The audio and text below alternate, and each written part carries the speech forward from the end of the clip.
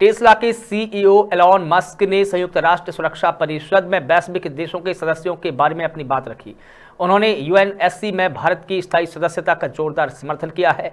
दरअसल, बीते दिनों यूएस के महासचिव एंटोनियो गुटेरेस ने यूएनएससी में अफ्रीकी देशों पर प्रतिनिधित्व पर अफसोस जताया था। इसी पर टेस्ला के सीईओ एलॉन मास्क प्रतिक्रिया देते हुए कहा कि सबसे अधिक आबादी वाला देश होने के बावजूद भी भारत को संयुक्त राष्ट्र सुरक्षा परिषद में स्थायी सदस्य न होना बिल्कुल बकवास है।